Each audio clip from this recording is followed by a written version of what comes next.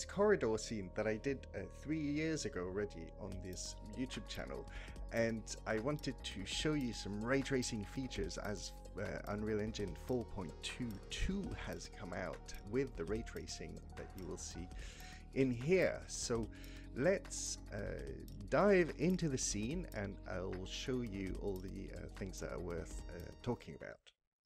So what I'm going to do is show you the way I've done this scene a little bit uh, with regards to the lighting because it's worth noting that this is completely real time in the sense that there is absolutely no uh, light baking.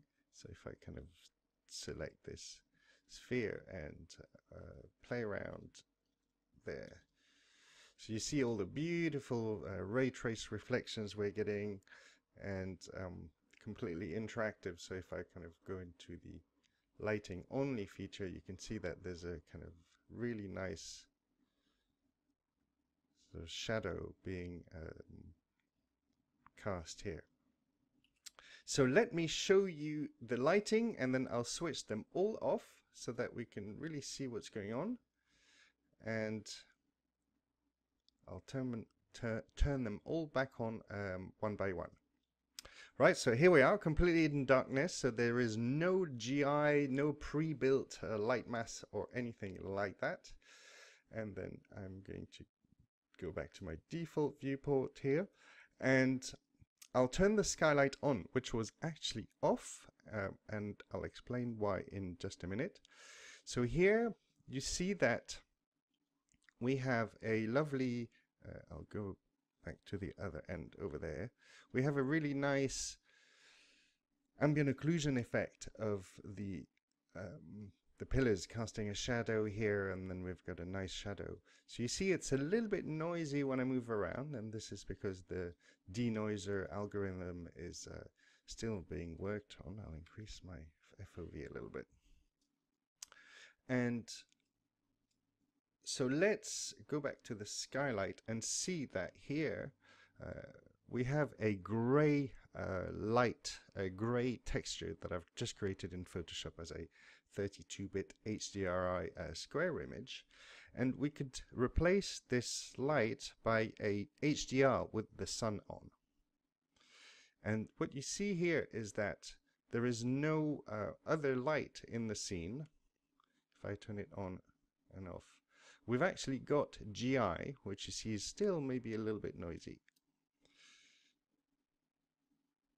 But the point about uh, me showing you this, which is very experimental still, is that we can actually completely change the lighting of the scene based on the angle of the sun in the cube map.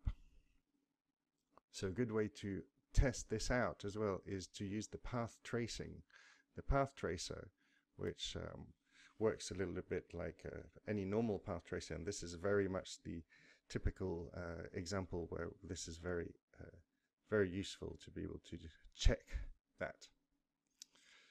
All right, so if we go on on um, on here, we can see that also we can change the size of the uh, of the light of the resolution of the cube map here, and that's kind of slightly affects the size of our shadows, especially if I go all the way to the bottom here.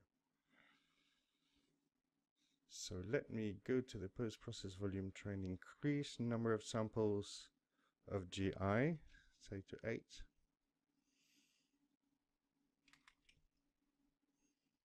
So it comes it down. There you go.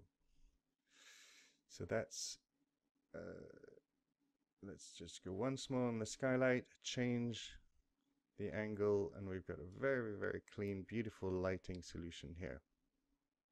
Very, very easy. Okay, so now uh, let's go back to our gray card, though, to give us a very um, smooth uh, lighting solution here, more ambient occlusion-like, and we can now turn on our sunlight, and so we can see again that we've got a very precise shadow here for the sunlight, and that decreases in um, softness in the distance. So again, this is a very, very beautiful uh, example of how the ray trace shadows get, don't give us this banding that we would normally see at very low angles as well. So again, we get this very sharp shadow effect. So it's the same effect as the HDR, but we've got that um, more controllable here. I'm actually sort of turning my uh, my direct sunlight, and I hide it with the pressing the uh, the letter G as well. And so while we're there, let me turn these little exhibits on and we can see that we've got um, a kind of an area light. So if I hide my... Uh, so here we have this area light that has some funny uh, ears to it and those are called the barn doors. So you can see how these affect the way the edges of the light work and you can also change the length which is very very uh, useful. If I was to turn the uh, rest and the skylight off as well. You can see that there's a very strong GI effect here that the um, the light is actually casting a um, illuminating the sky the the ceiling as well. And I will actually go and turn these on rather than turn the skylight on. These are a typical um, old school effect if you want that uh, of putting rectangular lights out on the outside of the building which enable us to uh, project a very controlled um, lighting on the inside thus leaving the skylight off. Okay, and if I continue uh, down the little corridor, as it were, here, you can see also the beautiful metallic effects that you're now be, um, being able to generate, of course, um, with ray tracing. And again, with our light uh, bouncing on.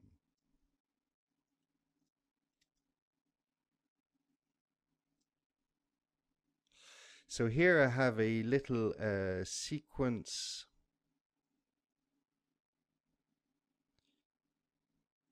which enables us to move the uh, the sunlight and you can see how the sunlight also um, reflects and blooms into the metal so I found this uh, way of controlling the lighting the angle of the sun with the sequencer is very, very practical. Very useful.